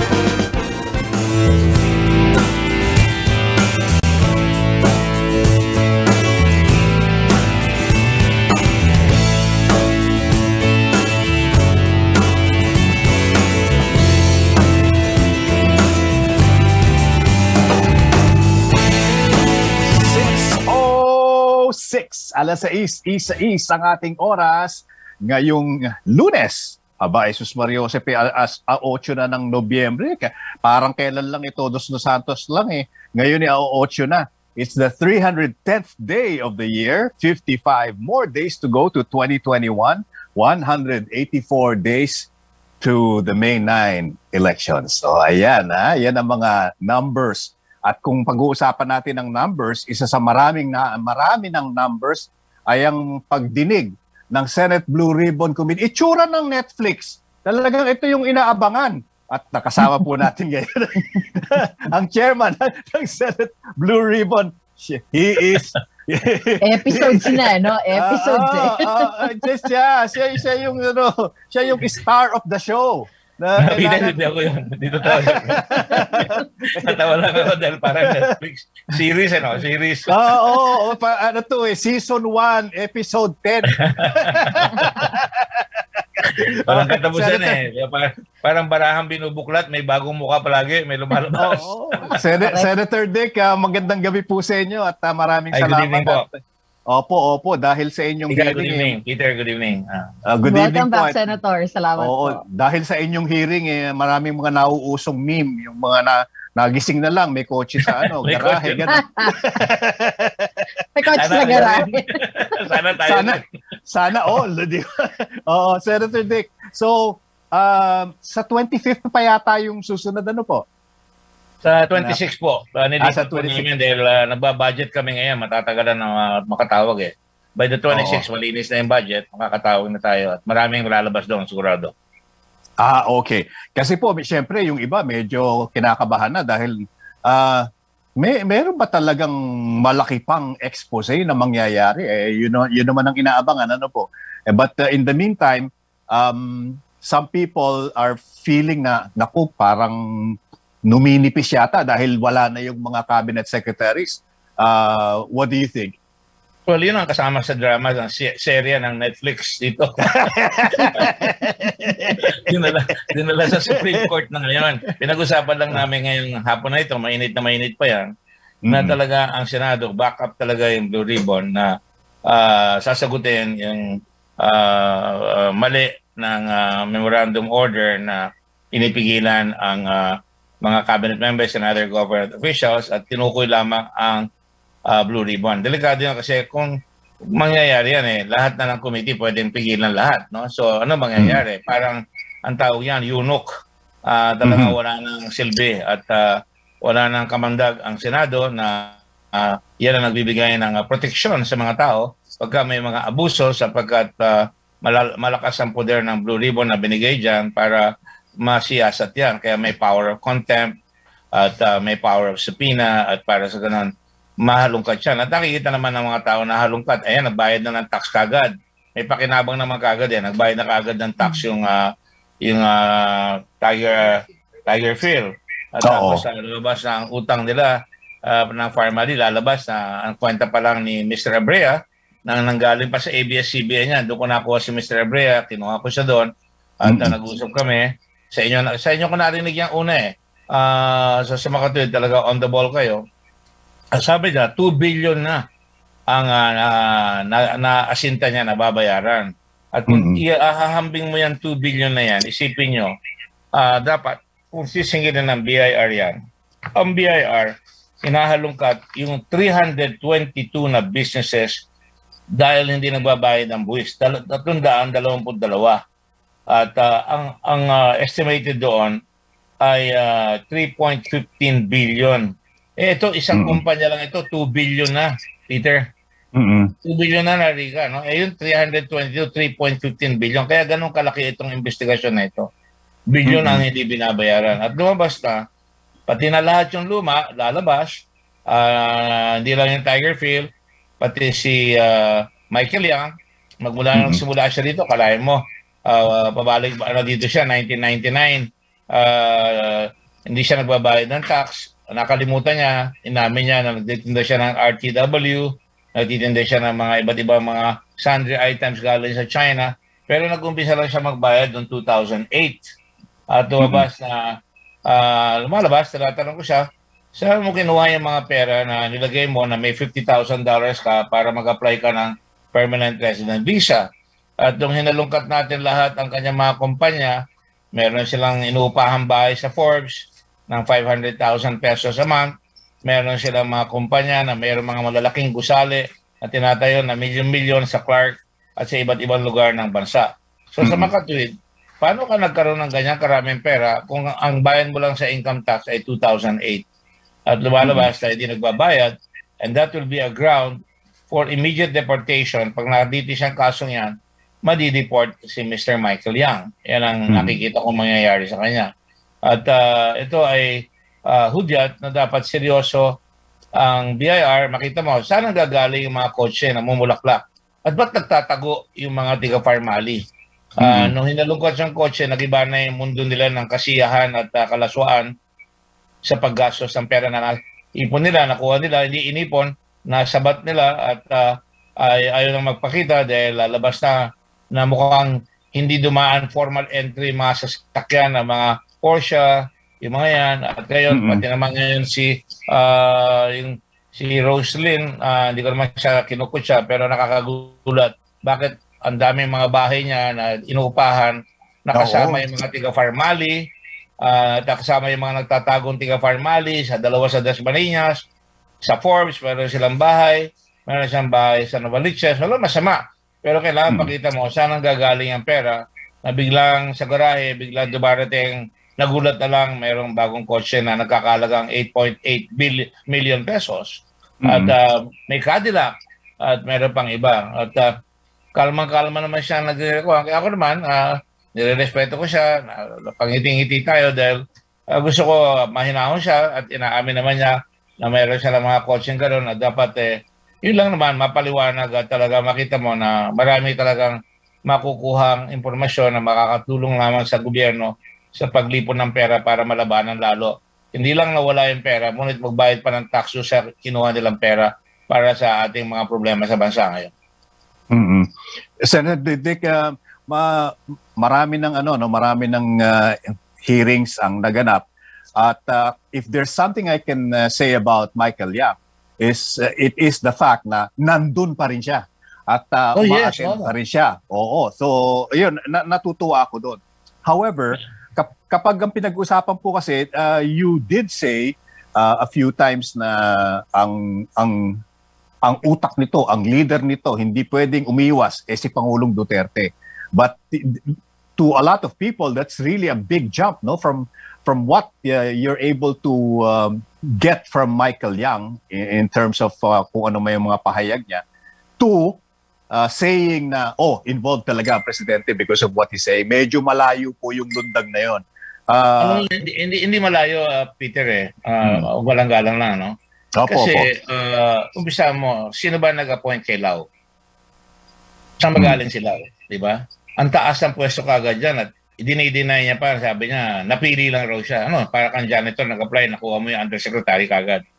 At nag-apply siya kasama kay Bongo. Dinidelay rin ni nung araw na walang kinalaman si Bongo, pero nakalagay doon sa uh, tarjeta at saka sa stationery nilaw, uh, nakita namin na siya ay katrabaho sa uh, undersecretary sa office ng uh, SAP, uh, Special Assistant to the President. No? At when you go down to all the appointments made uh, hanggang sa bandang huli, uh, nagtangga siyang maging appointed sa ombudsman pagkatapos ma-kompleto yung ratsada sa tinatawag nating fire ng uh, PSDBM. Ang lalaki ng mga binigay doon. Tapos nag-apply na siya, pero nung medyo mainit, umatras siya. Pero yung kanyang kasama na inappointed ni President Duterte na si Leong, naging deputy ombudsman. So makatuwid, uh, uh, hanggang umpisa, hanggang dulo, parang inayos na may protection at parang yung kanyang pagkakataon nun lang, ay nilagay lang siya para maibigay yung favoritism na binibigay sa Parmali na talagang walang kasing katulad na lahat binibigay sa kanila to the prejudice ng mga Filipino companies at lumalabas hindi lang sila. Hindi maaaring hindi maisama sila Yao, sila uh, si Yang at saka sila Lau. Si Lau lahat ang nag-engineer niyan at saka sila Leong. At hindi maalis na si Michael Yap binigyan ng magandang signo sa buong Pilipinas at saka sa China that he is the go-to Chinese napupuntahan lahat ang magninegosyo. Kaya kasama sa Parmali, magdadala siya ng mga negosyante sa kuan at abangan nyo yung susunod. Kaya nga, hindi napapansin ng mga tao, pagka abogado ka, meron kang tinatanong, may saysay yan sa bandang huli. Ang Mhm. haba ng cross-examination ko kay Michael Yang, mamaya lalabas na yan yung mga dinala niya doon. Meron palang mga record pa rin sa China. Abangan na lang natin ang Mhm. susunod na episode. Lalabas may mga, may mga kaso pala yung mga yan sa China. At uh, bakit naman nilalapit sa Pangulo? Yun lang gusto ko sabihin. At uh, kawawa naman ang Pangulo dahil hindi niya namamalayan itong kay pinagtiwalaan niya ang tao, eh, nagpalapit sa kanya na may mga kaso na hindi ka nais-nais. At, uh, na, at uh, hindi ko nasasabihin muna at masasayang yung episode eh. Oh, dahil kasi, kailangan ng under oath dapat yan, under oath. But anyway, to make a long Yeah. story short, Michael Yang, sinasabi niya, 1999, wala siyang kinikita, napupunta lang siya dito.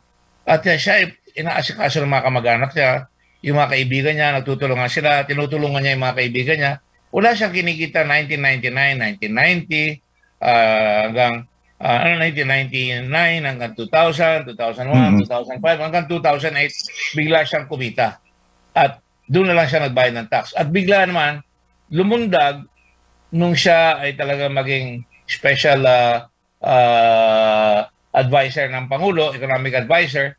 At makita mo, sabi niya nung una, Princeton. Ako nagulat eh. Muntik na ako mabuwal sa silya ko eh. Sinabi, Pri- Princeton. Abay, hindi basta-basta sa Princeton, no? Ayun pala, ah, Perlington. Burlington ba? Ah, kumbaga, hindi ko naman inaapi iba, no? pero ah huwag mo naman sasabihin ng galing ka sa eskwela kung di ka naman galing talaga doon. No? At ah, inulit-ulit ko pa. So, kala niya magugulat tayo mga Pilipino. ah, eh, syempre, nung research namin, hindi siya talaga galing sa Princeton. At lumalabas na talagang lumaki ang kanyang income. Mhm. Talagang meron rin siyang Porsche. Ah, ayaw niya sabihin yung bahay niya sa Davao. Ayaw niya sabihin kung saan galang galing yung pera. Nung tinayo niya yung DC, LA, na Mm. dalawang kalye, ang laki. Magkabilang kalye ah, ng Ramon Magsaysay, saka Urang Guren ba yun? Nasa Davao. Oo. uh, ay, ay, Ayang Guren, no? Na magkabilang kalye, nakuha niya, sabi niya, inuupahan niya, eh syempre may kita yun eh. Pag nagpapaupa ka, meron bat yun, meron income tax yan. Wala sa sinasabi. Kaya kailangan, pag, pina, pag pinayagan ka makapasok sa Pilipinas, napakalaking pabor ang binibigay sa isang tao na makakapagnegosyo ka rito, kakompetensya mo yung mga Pilipino, at nabibigyan ka ng malaking pagkakataon. And I'm happy na kumikita siya. Pero magbayad naman sana ng buwis. At huwag na maghasik ng lagim at dilim dito sa ating bayan. Ayun ang lumalabas ngayon na talagang ang dami niyang kinita, pati nga itong isang kumpanya, yung Shushu, Suhaw, lumalabas sa hindi nagbayad ng 25% na corporate income tax. At dalawang bilyon, dalawang beses nakakuha ng malalaking pera sa gobyerno. At hindi na rin naman nagpakita na naman yung ah, humarap konti, tapos lumalaman niya, pwede siya matax, eh nagtago na naman. So, makita mo ang hudyat, lahat una iwas pusoy ng iwas pusoy. Una, walang kinalaman si Michael Yang, tapos nabuko siya. Si ah, Ong, sinasabi, ah, meron silang style ng negosyo. Yung pala, siya pala ay assistant ni Yang at may sumasweldo siya doon. At nakikipagkita sila palagi sa Pangulo, silang tatlo, na may mga litrato. At nakikita mo talaga na dikit-dikit eh. Ah, may mga ugnayan sila na ah, ngayon, napilitan umamin si Michael Yang na ang sabi niya nung una, pinakilala ko lang ang Parmali. Pala, nagpapautang na siya, guarantor na siya, nagpapautang na siya, Mm. inamin mismo ng presidente ng kumpanya. So, atras ng atras sa pagsisinungaling. At ah, kaya, hindi po madali yan eh. Kailangan talaga may pasensya po ako, humingi ng pasensya sa mga tao. Unti-unti, para mong hinuhugot yan, unti-unti. At malaking, malaking hukay ang ginagawa natin. Hinuhukay natin lahat yan. At dyan makikita, kahit anong galing nyo, pag hinukay yan, may makikita ang paper trail. At yan ang lumalabas. At ah, hindi may paliwanag ngayon kung saan kabigla nagkaroon ng, biro mo, papakita yung mga building sa Clarkfield pagkalalaki. Ah, Di ba? At ah, meron pa siya doon sa ah, mga iba't iba. At makita mo, si Rose, ang isa pang mahiwaga dito na lalabas, yung sinasabi natin na dati si Alan ah, Lin, no? No. Pero si Lin, Lin Xiong, Xiong Wei, na asawa ni Kwan na nagtago rin naman sa Dubai. Aha. Ah, ayan, hindi na nagpapakita rito. Pero ang dami rin ng negosyo. Yung Pogo, may Pogo sila. Ayun na siya nagmamalaki na. Marami sila negosyo. Oo. Ah, at ah, Bahay Ah, sa Dasmariñas. Forbes. oh, ah, at saka construction, meron sila. Ah, meron pa silang ah, ah, real estate, no? Eh, kailangan ipaliwanag yan. Dahil alam mo, kaya tayo may money laundering law, baka nga katulad ng lumalabas, may mga kaso. Yung Parmali, may kaso sa Taiwan. Yung Mm. mga individuals na yan, meron na naman lalabas. May kaso sa China, sa Xiamen, at saka sa ibang lugar. At ah, lumalabas, saan galing Mm. ang pera yan? Galing ba sa malinis yan? O dito ba nagmamoney launder? Mm. Diyan ba, dito ba naglalaban ng maduming pera at uh, nakukurap tuloy ang mga kapwa natin Pilipino at hindi lang kapwa Pilipino napag napagnanakawan pa ang bayan ng Pilipino sa pag sa gitna ng napaka higpit Mm. na kita naman nyo ngayon 2.8 million na ang kaso natin ng COVID at uh, talagang maraming namamatay rin at uh, Mm. eh, gagawin pa nila yung ganyang paglapastangan sa mga kababayan natin.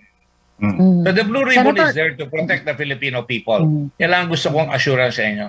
Kaya matapang ho ang dating ko doon. I will not tolerate na lulukohin ang Senado. Binoto niyo po kami dyan. Pag lulukohin kami, lalabas ho ang tapang ko na sabihin ko, di po kami pwedeng lokohin. Hindi kami, hindi kami pwedeng i-contempt, hindi namin kayo i-contempt, hindi namin ko-contest, ah, hindi nyo pa pupasok kung papupuntahin yung mga tao. Ibig naman sabihin yan, umiiwas kayong lahat, hindi kami papayag na mawawala na lang sila Mojit. Imagine, tinatanong siya ni Risa Ontiveros, yung sinabi Oo. namin i-contempt, biglang nawala na, tumago na, sila magkapatid, at Mm. ah, lumalabas ka, ni yung mga taxes ng kotse, hindi na nababayaran. So, dapat, natutuwa dapat ang Pilipino na ngayon talaga, ang Blue Ribbon, hindi lang yung mga pinakulong natin sa immigration na ngayon nakakulong habang buhay, na nahuli natin ng, uh, ng huling bat ng 50 million doon sa Clarkfield at ah, hindi lang yung mga natanggal sa gobyerno, ah, sa customs na napatanggal natin, at pati na rin ngayon si Asherto lumalabas na ngayon. Ah, Oo nga. Sinasabi, hindi, raw na, hindi ko raw siya tinawag. Tinawag ko siya. Pero alam mo naman Peter, abogado naman tayo. Pag tinawag ko siya at ako magtatanong, lalabas, pinapahamak ko ang ibang tao katulad ng presidente. Iba sasabihin niya. Kung ikaw may sasabihin, wala akong katibayan, wala kang pinirmahan sa akin na sinumpaan na affidavit, kung ikaw magsasabi, sabihin mo, tatanungin ka namin. Eh ayaw Hmm. niya magsabi. Nung tinatanong ko na siya, hindi na siya nagpakita. So, ngayon Hmm. lalabas siya. Ngayon, sabi niya, lalabas siya, magsasabi siya, eh mag-affidavit muna siya. Pag nag-affidavit siya, baka talagin ko ang committee kung ilalabas Hmm. natin yung sinasabi niya, may alam siya kay Michael Young. Mm. Okay, Mer- Alan Lin. Ah, ako Meron sa daw akin, siyang ano, mga pahayag at uh, mga sinumpaan sa inyo noon na hindi daw ini- hindi daw nalabas. Wala, wala. ah, totoo niyan, para papel lang yun na nire-report niya kay Bongo, nire-report niya sa cabinet, tinangka niya Mm. pumunta siya sa presidente, nire-report niya kay La Albayalde, nire-report niya sa kanyang mga superiors. Eh bakit naman sa akin isisisi? Eh abogado naman ako eh. Hindi naman siya papasok doon na susubo ko yung Blue Ribbon na helter-skelter, wala kang pinumpaan sa akin, Oo. eh, lalabas ka. Mahirap naman yun. Eh, yun nga, tumakbo na nga. Eh, ano nangyari ba doon? Tingnan mo naman, Peter. Siya Oo. lumalabas, nakakaalam kung saan bubutasin yung metallic cylinder. Meron kaming testimony kay Jimmy Guban. Sabi ni Jimmy Guban, ang nagsabi na kung saan bubutasin para mabuksan yung metallic cylinder sa customs, yun lang sa customs na nakuha. Pero alam niya rin nasa Cavite. At ako pinagpilitan ko, meron laman talaga yun sa Cavite. At napatunayan yan. Kaya lang ako interesante ko yun. And uh, uh, out of respect rin kay uh, General Acerto, Colonel Acerto, kahit na siya tinanggal lang ombudsman, then nagbenta siya ng AK-47, ang nakukal lang ako, may namatay eh. May namatay, dalawa yung sinasabi niya. Yung isa, laging testigo rin natin doon sa Blue Ribbon Investigation. Ang pangalan noon ay uh, uh, yun na Perote na nagbibigay dapat ng kung di ko nagkakamali, 30,000 na to o 300,000 na nakalagay sa supot ng telepono, ay yung bigla na lang pinatay sa Bacolod Hotel. At nakatanggap ako ng mga ulat mula sa Panay at saka sa Bacolod na siya sa ating ko raw. Eh naalala ko may Perote nga. Kaya ako nagdududa, ba't pinapatay si Perote? Ba't pinapatay ng Okay. isang kasama doon? Kaya maaaring magkaroon ng konting uh, linaw kung magsasabi talaga Mm. ng totoo itong si uh, Asierto. Kung Si Asierto. siya. Okay. Yun. Okay. Um, Senator Dick, itong, itong ah, pagdinig ninyo, mga pang tatlo na ba yun? Eh, nag, nagtataka lang yung marami. Alam namin na mayroong mga budget hearings ngayon. Ano? Pero why do we uh, find uh, the same senators attending the Blue Ribbon Committee hearing? Not that we don't appreciate them, of course. So, ma, sina Senator Ontiveros, uh, sina uh, uh, si uh, Senator Drilon and Senator Ping Lacson and Pangilinan. Uh, lagi niyong, ilang beses niyo nang nabanggit na nasa meeting si Senator Bongo. Eh bakit, na, na, nag, nagsalita na ba siya o na-miss ko lang? Magsalita naman, in fairness to Senator Go. Pero again, oh. pinagtatanggol niya ang Pangulo, wala silang kasalanan. Pero nasa sa kanila naman yan eh. Pero alam mo, I cannot tell the other senators to come, no? Uh, Siyempre, iba running for re-election. Yung iba, uh, siyempre, alam niyo naman ang bayan natin eh. Tapatin ko na kayo, ang Kongreso, lalo na kumisan, kung hindi ka malapit sa Pangulo, wala kang budget. Wala kang, may, wala kang, wala kang makukuha tulong sa national government. Yan ang mga panakot nila eh. Kaya ako, ang pinaglalaman ko sa mga tao, gusto ko maintindihan ako ng tao, pati si Senator Soto, si Senator Dillon, kami mga abogado ni Senator Dillon, kaming dalawa, ang iniisip namin, kaya meron tayong Senado, yan ang talagang panglaban sa timbang ng bigat ng power ng presidente. Ang legislature merong oversight function na hindi pwedeng pigilin ng kapwa co-equal branch ng gobyerno para patas ang labanan, may imbestiga sila.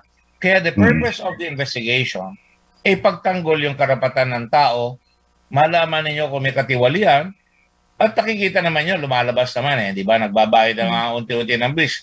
Maangal si Ong, sabi niya, tatlo na raw ang letter of authority niya sa BIR. Si Mhm. Michael uh, Yap, yan, ah, sinasabi niya, meron na raw siyang letter of authority. Oo, kung totoo yun, no? Pero yan, lumalabas. Ma masisiyasat lahat yan. Tumatago yung mga kwan. Binayaran ba rin yung tax ng kotse? Imagine kayo, nag-jeep kayo. Tapos isang kisap mata lang nito. Isang kickback dito sa Parmali, meron ng Lamborghini. Akala Mm. nga, Lamborghini lang yun pala. Lamborghini. Grabe, di ba? Oo. Oo. Eh, Oo, yun ang makikita ninyo na may Yeah. pakinabang naman na makikita na may mangyayari at talaga may mangyayari dito. At Mm. Ah, ito sabihin ko, bakit hindi raw kami magdemanda? Sa Amerika at dapat dito, pag lumalabas dyan, nakikinig dyan ang ombudsman. Pati yung ombudsman, final nila doon sa dalawang naimbestiga namin, nakuha ko yung video ng dalawang tiga Immigration Commission at yun ang ginamit. Kaya na-convict sa Sandigan Bayan yung dalawa. Medyo may katagalan lang pero na-convict. Si Mhm. Algusino at saka si Robles. Yes. Ang pakay na mag-prosecute ang Secretary of Justice o kaya NBI o kaya Ombudsman. Yun ang mag-iimbestiga yung NBI, Ombudsman ang magpa-file kung government official sila. Or for that matter, anybody, uh, kung talagang idudulot sa Ombudsman, moto proprio pa ng Ombudsman yan. Siguro naghihintay sila na makalap. At nakikita ninyo, nag-iimbestiga na ang BIR.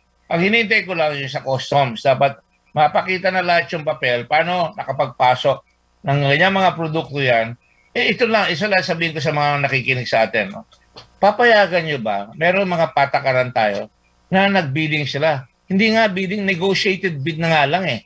Mm. Pipiliin na lang eh. Hindi na nga nag-due diligence, hindi na nga tinignan kung may kaso sa ibang bansa. Hindi na nga Mm. tinignan kung paano yung mga ah, negosyante natin Pilipino. Eh binigay na lang basta-basta. So ngayon, nalalaman natin na ang dali palang kumita kung ikaw malakas at meron kang kinakapitan. Kaya nga, ninenervyos lahat sila ngayon at nagtatago sila, nilalam kung saan sila magtatago, lalabas at lalabas lahat yan. At ah, hindi, kuwan, katulad ni, Mm. ito si Colonel, ah, ah, no, si Colonel Arceo, ah, itong, ah, Asyerto. Asyerto. Asyerto. Asyerto. Meron pa isa, si Colonel Pajardo. Number two ng PIDAP yan, ng, ng ah, Mm. the dangerous uh, ng ah, PIDEA. Number two ng PIDEA. Nagtatago yan. Mm. Meron kami recommendation, hulihin niya mga yan. Eh, eh, pero, Mabuti, lalabas siya ngayon. O, lumabas siya. Oo. Pero si Pardo, nagtatago pa hanggang ngayon. Pero Gawa Senator ng Blue Ribbon po yan. Kung di maraming po nawa- maraming- Blue Ribbon, hindi nyo malalaman yan. Oo. Kaya yan, pagtatanggol ninyo ang Kongreso sapagkat yan ang Mm. check and balance. Oo. Ah, Senator Dick, bakit bakit ano ah, may may balita na ba tungkol doon sa magkapatid na Dargani at saka kay Lau dahil uh, kinontempt na ninyo si uh, si Lau, di ba? Ah, Oo, hindi, hindi. eh, Hindi naman na siya government official. Uh, sinusunod, Yeah. nire-respeto ko pa rin ang gobyerno. Sabi ng presidente, huwag muna kayong umarap, lalo na sa Blue Ribbon. Kaya nagdulog kami sa Supreme Court. Yun ang magdi-decide ngayon. Pero, Oo. in the meantime, pag nagtago ka, ibig sabihin, may tinatago ka. Di ba? Eh, hindi nga, tatago nga, dinimanda pa nga si Senator Ontiveros. Oo. Uh, kuwan, eh, bahala siya, no? But the point is, But, but the, uh, are you getting the ano? Are you getting the cooperation of the NBI? I mean, as in naghahanap ba sila o We have letters to them, and remember, if they don't act, there could be dereliction of duty. Di ba? Uh, disobedience upon unlawful orders of a uh, constitutional body like Congress. Na nakikiusap lang naman kami. Marami naman matitulo. Halos lahat naman dyan eh. Mapapa, maasahan natin para mga sundalo natin at pulis. Marami rin mga honest dyan. Eh sana gumalaw rin sila. Eh, katulad nga ng BIR, gumagalaw na ngayon, iniimbestiga na sila. Ah, magpapaliwanag sila. Dahil mahirap itago eh. Mahirap itago eh. Sisingaw at sisingaw eh. Di ba? Opo. Senator, um, madami po, madami na po yung hindi nagpapakita, 'di ba? Mga kahit naka-contempt na sila. Tapos ito pang mga ano natin, uh, opisyalis natin hindi rin pinapa-appear ni President Duterte. So up until magbigay ng ng say yung Supreme Court, parang wala po po tayo masyadong mga makakausap. Ay, Are we hindi naman. seeing an end to this? Ah, I mean, no, uh, malapit na. tutuloyan natin yan dahil lalabas ka yan. Katulad yan, may na naman lang tayo nakalap na eh, na, na mga ah, report. Ah, si ah, si Rose, ah, si Ong, ah, si Lin, Rose no, ah, Nonolin. Roslyn. Roslyn. Nonolim, lumalabas. E biro mo, isang kumpanya, ah, pag pinakita ko sa inyo, nandiyan yan, lahat sila magkakapatid, halos 100 million ang pinasok nila. Ah, Mm. Magkakapatid sila. Ito, oh, ayan oh. Ah, si Rose Nono Lim, yung kanyang kapatid, si Army Nono, no? Ah, tapos meron dito, ah, lahat sila magkakasama magkakapatid. Ito dito sa Pili ata yun. Ah, Yeah. Sa Seanway, ah, Seanway, oh, Rose Nono Lim, Ray Sokita Nono, Ruby, Alco, Ruby Nono Alcon, Ronnie M. Nono, Ani Sokita Nono. Eh, ang Oo. sabi niya, receptionist siya sa hotel. Hindi ko Oo. nilalang, no? Oo. Pero nagmana ba siya ng malaking pera at biglang may 100 million at may mga kotse na magagara kagad? O hindi ba dapat magtanong doon? Yun ang lumalabas, di ba? So are you Ah, inviting them, Senator Dick, yung mga kapatid? Oh yeah, yeah, they're all invited. In fact, ang hindi nagpapakita, halimbawa, si Gerald Cruz, yung pumirma ng renta ng ah, bahay ni Michael Yang. Hindi Mm. nagpapakita, EA niya yon. Si, Mm. Hindi nagpapakita yung presidente niya na si ah, ah, Jason Uson, tiga Davao. Umalis na raw, ika niya. Dalawang So yung presidente accountant, Philippine, Philippine Holding, Piley Holdings Company, Mm. at saka presidente siya doon, at saka corporate secretary siya. ditong Pali Estate, kasama sila yung mga yan ang mga tentacles si Michael Yang, Power Mix, Rose Nono Lim ang presidente ng Pali Estate, Corporate Secretary si Jason Uson, di namin makuha yan. Rose Nono Lim, President si Jason Uson. Ayan, so lahat lalabas at lalabas, makikita talaga. Kaya ngayon, tataka lang ako sa Pangulo. Sorry, Mr. President, ayoko naman kayong inaaway. Marami rin kayong problema. Pero sorry po, ang hindi ko maintindihan, bakit ayaw nyo tulungan kami na maluwabas na nga lahat sa mga yan para matapos? Ang manapatuloy ang lumalabas, nahihirapan pa kami dahil sa mga utos ninyo na palabasin yan. Hindi naman kami natutuwa eh. Nahihirapan rin kami dito eh. Ah, dahil syempre, mag-aalanga rin kami. Hindi naman natin alam kung sabi nyo nga, uh, uh, ayoko na magsalita, no? pero andyan yan. Basta tuloy-tuloy yan, lalabas at lalabas. Mhm. So you, you think na mga uh, ilang ilang hearings na lang kasi eh, sinasabi nga ng ano eh kasi eleksyon kaya ayaw ayaw bitawan yung hearing eh. Ano pong reaction Wala niyo? ako, hindi ho. Eh, eh, ilang beses naman ako tumakbo ng eleksyon eh. Hindi ko naman ginagamit yan at may naman nangyayari naman sa lahat ng ginagawa. Nasa sa inyo na ho yun.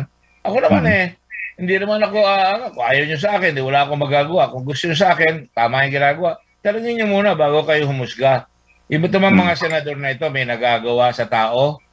Ako, Hmm. tatanungin nyo ako, kahit na wala naman ako sa Senado, 151,000 homes ang nagawa ko sa Red Cross. Bahay, sahayan, lahat ng Mm. disaster. Lahat nakakaligtas tayo, nakakatulong tayo. Wala po tayong sweldo doon. Hindi ko pinagmamalaki yan. Gusto ko talagang trabaho na makatulong sa mga nahihirapan, mga vulnerable, mahihirap. Eh, eto, hindi ko naman hiningi po yung Blue Ribbon eh. Mm. Yung ako uupo dyan. Sa akin tinutulak dahil abogado raw ako, trial lawyer ako, sa akin tinutulak, hindi ko naman hiningi. Eh pag binigay sa akin, sumusumpa ako, pag sumumpa ako, gagawin ko yung tungkulin ko, pasensya na ho kayo, yan ang gagawin ko. Eh, yan lang naman ang akin. Huwag naman kayo Okay. magalit kung matatagal. dahil yung kila Vice President Binay nung araw, ang record ata 23 days eh. 23 hearings eh. Oh, eh, di ba? Malayo, malayo pa kayo sa 13 record nun. Hindi ko alam totoo. Sabi So, ko lang yan. Aabangan-abangan po natin yung ah, susunod na episode sa season 1. Pero alam mo, maganda, marami nagte-text, nagbibigay sa akin ng mga test, ah, mga tips. Pati yung Yeah, mga bahay yes. nitong mga Indians. Alam mo, kausap ko na yung Indian community. Hindi naman, yung mga Indian community, marami tayong kaibigan dyan. Nahihiya nga sila sa ginagawa nito eh. Dahil hindi naman tama yung ginagawa eh. At yung tatay raw niya, Ah. mabait. No? Kaya lang, hiwalay nga sa asawa. Pero yung dalawa, Oo. na magkapatid, bakit naman napupunta sa kahihiyan? Dahil nga, nasilaw eh. Makita mo, Oo. ano-ano ang habit. Nagsinungaling. Kaya pa, ang, ang pakilala niya, nagtatrabaho siya kay Michael Yang. Di ba? Nasa Okay, pero- niya. Oo. Tapos dinay-deny niyo naman. Eh, ganun eh. Ah, fake news palaging fake news. atrasabante, parang sewing machine. Para si Rochong Hapon. okay. Sa- Senator Dick, maraming salamat ha. Kami mag-iintay sa susunod na episode uh, ng Flash Gordon. Ay, Flash Gordon. salamat po. Ha. Salamat, Senator. Okay. Thank you po. Thank you. It's always good to be in your show and thank you very much. Maraming salamat po. Thank you. Our pleasure, sir. Si Senator Dick Gordon, ng uh, chairman ng Senate Blue Ribbon Committee na inaabangan ng katakot-takot na mamamayan. Ang susunod po eh sa 26. Tama ba? Tagal pa. Oo. Oo, oo, oo, medyo ano muna, mo muna tayo. Dali lang, TV Patrol paparating na. Magpapaalam na kami ni Rika. We'll see you all tomorrow at 5 p.m. sa pagpapatuloy ng isa pang episode ng Pasada sa Teleradyo Worldwide. Ito po ang inyong kapamilya sa ABS-CBN. Naglilingkod sa inyo saan man sa mundo. Good night.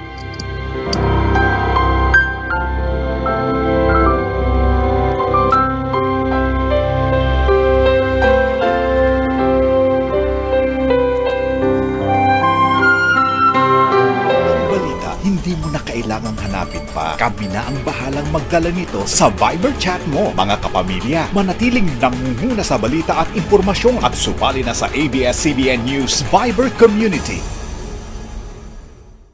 Saktong celebration tayo kapamilya dahil sa ating anniversary, mabilisan tayo sa pagsagot sa question. Walang mai-eliminate sa paglahok dito. Saktong pang-umagahan. Kaya mag-ready na. Para malaman po ninyo ang mga paghahanda na dapat niyong gawin para sa ating kaunting kasiyahan dito sa Sakto. Lahat ng kapamilya nationwide ay pwedeng sumali. Sa oras ng programang sakto, mag-log on sa joinnow.ph slash sakto o iscan ang QR code na makikita sa inyong screen. Pabilisan tayong sumagot sa multiple choice Jones. Sa makasasagot ng tama, ang inyong assigned player number pagka-log on ang aming ia-anunsyo sa programa. May regalong naghihintay sa inyong mga kapamilya. Kaya sumagot na sa mga John ng sakto. Dito lang sa nag-iisang Tele Radio. Promo runs from October 29 to December 31, 2021 as per DTI Fair Trade Permit number FTEB 129969 series of 2021.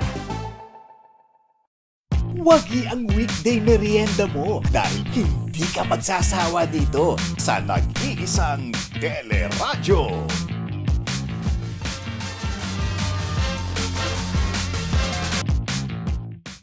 Gusto mo bang matutong maging praktikal? May sale pa bang aasahan? Wais! Give us some tips